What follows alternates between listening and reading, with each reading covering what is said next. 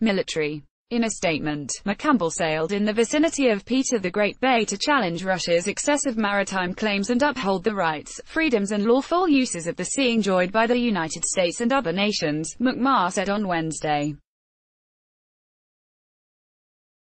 However, McMahon pointed out that the move is not against Russia or other countries, and is not linked to the recent incident in Kerch Strait when Russia detained three Ukrainian naval vessels that entered its territorial waters in violation of international law.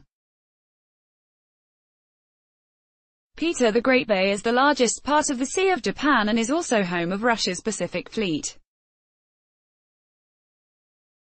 McMahon explained the United States will fly, sail and operate wherever international law allows it to do so.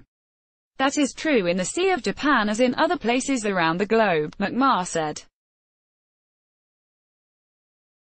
Read more. Russian mod says N Korean missile traveled 732 km, fell in Sea of Japan copyright photo, YouTube, Sputnik According to the U.S. Navy, the United States does not recognize Russia's claims on the waters in that part of the Sea of Japan and considers the area international territory because it lays more than 12 miles from Russia's coastline.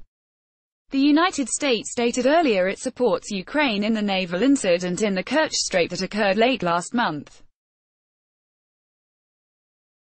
On November 25, three Ukrainian Navy ships, Berdyansk, Nikopol and Yani Kapu, breached Russia's water border and began moving toward the Kerch Strait, which serves as an entrance into the Sea of Azov.